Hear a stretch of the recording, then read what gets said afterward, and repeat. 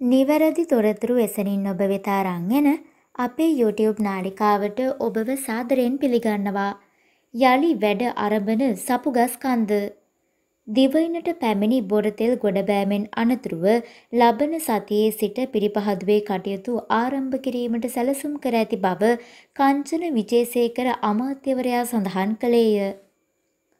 බොරතෙල් metric ton ලක්ෂයක් රැගත් නෞකාවක් ඊයේ රාත්‍රියේ දිවයිනට ළඟාවීමට නියමිතව තිබූ අතර එහි සාම්පල් පරීක්ෂා කිරීමේ කටයුතු අද දිනේ සිදු කිරීමට නියමිත අතර ලබන විසිතුන සහ විසිනමය යන දින අතර කාලයේදී තවත් බොරතෙල් මෙට්‍රික් ටොන් එක් ලක්ෂ විසිදාහක් රැගත් නෞකාවක් දිවයිනට පැමිණීමට නියමිතව ඇත.